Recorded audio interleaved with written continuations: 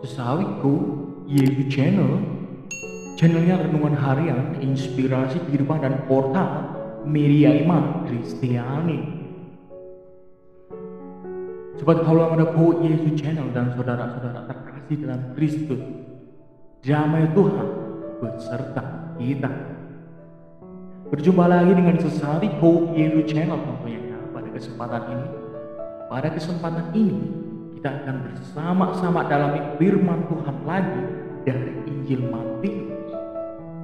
Maka tak berlama-lama lagi sebelum kita memasuki firman, mari kita siapkan hati dengan berdoa terlebih dahulu.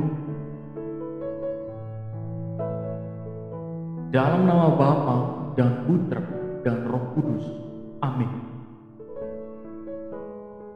Allah Bapa yang Maha Kuasa, kami ucap syukur kepadamu atas segala cinta dan rahmat yang boleh kami terima bagi kami. Utuslah roh kudus dan penuhi hati umatmu. Semoga dengan rahmat roh kudus kami boleh terima firman pada kesempatan ini sehingga kuatkan jiwa dan raga kami. Amin. Kemuliaan kepada Bapa dan Putra dan Roh Kudus seperti pada permulaan sekarang selalu dan sepanjang segala abad. Terpujilah nama Yesus, Maria dan Santo Yosef untuk sekarang dan selama-lamanya. Amin. Dalam nama Bapa dan Putra dan Roh Kudus. Amin. Tuhan beserta kita sekarang dan selama-lamanya. Inilah Injil suci Yesus Kristus menurut Matius. Dimuliakanlah Tuhan.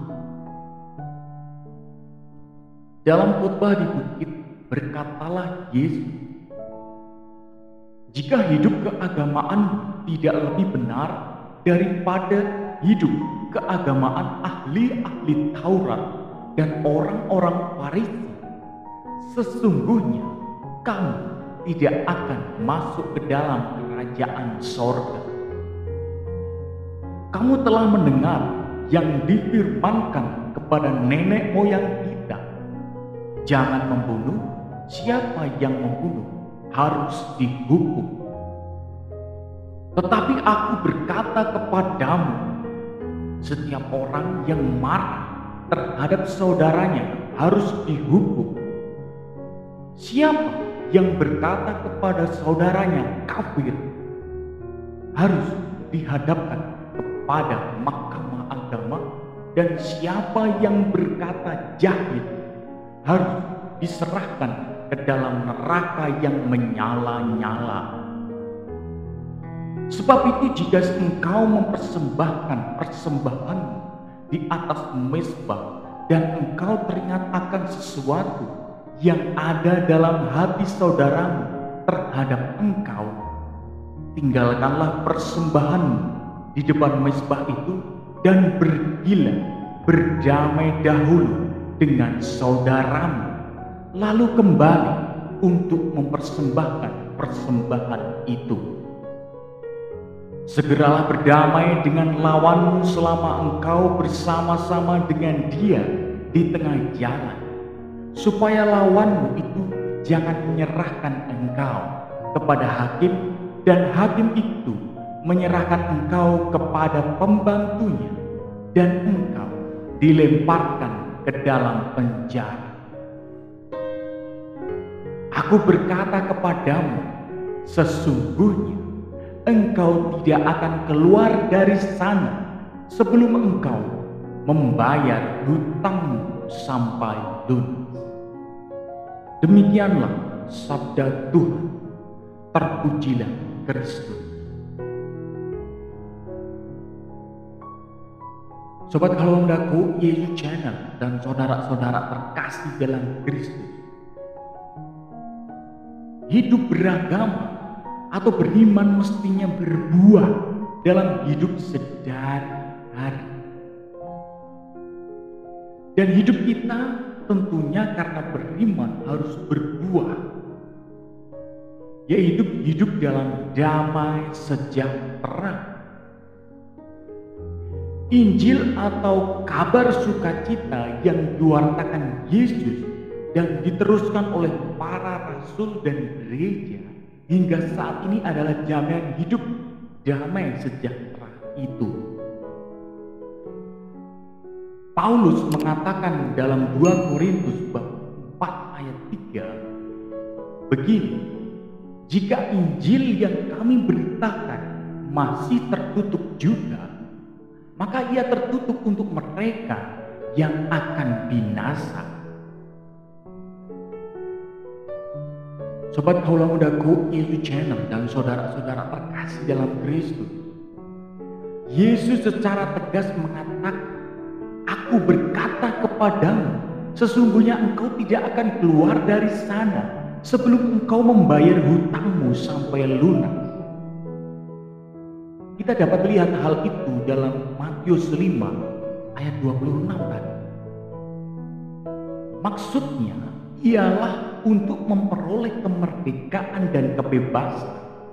Yesus menganjurkan agar kita berdamai dahulu dengan musuh dan dengan orang yang tidak kita sukai atau karena sesuatu. Artinya, Hidup kita akan bebas dan layak di hadapan Tuhan jika kita saling memaafkan dan berdamai. Kedamaian ini diawali dengan berdamai dengan diri sendiri baru. Setelah itu kemudian dengan sesama dan Tuhan. Tuhan sendiri ingin kita hidup damai dan merdeka dalam kasih Bapa. Ia mengatakan, bukankah ia hendak berbicara tentang damai kepada umatnya dan kepada orang-orang yang dikasihinya, supaya jangan mereka kembali kepada kebodohan? Mazmur 85 ayat 9 Buat kaulah mudaku Aisyah Channel dan saudara-saudara terkasih dalam Kristus Pertanyaannya adalah, sudahkah kita berdamai dengan diri sendiri dan memaafkan orang lain, memaafkan sesama kita? Jawabannya ada dalam diri kita masing-masing. Amin. Kemuliaan kepada Bapa dan Putra dan Roh Kudus seperti pada permulaan, sekarang selalu dan sepanjang segala abad. Terpujilah nama Yesus, Maria dan Santo Yosef untuk sekarang dan selama-lamanya. Amin. Sobat kalau muda Go Yesus Channel dan saudara-saudara terkasih dalam Kristus. Mak, kita tutup renungan singkat ini dengan mohon berkat dari Tuhan. Dalam nama Bapa dan Putra dan Roh Kudus. Amin. Bapa, kami ucap syukur kepadamu atas segala rahmat karunia yang boleh kami terima atas firman ini. Semoga dengan firman ini kami mampu dan semakin belajar untuk memaafkan diri sendiri dan juga memaafkan sesama kami. Sehingga kami mampu implementasikan dalam kehidupan kami sehari-hari. Bapa, kami juga berdoa bagi kedua orang tua kami sanak saudara kami kiranya Engkau berikan mereka kesejahteraan sejati. Kami berdoa pula bagi jiwa-jiwa yang telah berpulang ke rahimanmu yang tidak dapat kami sebutkan satu persatu. Engkau ampuni dosa mereka dan engkau letakkan mereka di sisimu Bapa di sorga. Kami berdoa pula bagi orang-orang yang lemah tersingkir tidak terjamah oleh siapa pun. Engkau hadir dalam hati mereka dan engkau menguatkan mereka. Amin bagi kedamaian negara kami tercinta Indonesia ya Bapak. Engkau damaikan, Engkau persatukan dengan cintamu. Hanya Engkau satu-satunya harapan kami semua. Amin. Kemuliaan kepada Bapa dan Putra dan Kudus seperti pada permulaan, sekarang, selalu dan sepanjang segala abad. Terpujilah nama Yesus, Maria dan Santo Yosef untuk sekarang dan selama-lamanya. Amin. Dalam nama Bapa dan Putra dan Roh Kudus. Amin. Sobat kalau mendaku Yesus channel dan saudara-saudara terkasih dalam Kristus. Terima kasih sekali kita sudah mau bareng-bareng bersama-sama belajar dari firman Tuhan hari ini. Jangan lupa subscribe, like, dan komen, serta sebarkan video ini supaya semakin banyak orang terima berkat, terima kasih, dan terima rahmat tentunya. Sampai jumpa di renungan harian episode selanjutnya. Bye bye. Berkat dalam Tuhan memberkati.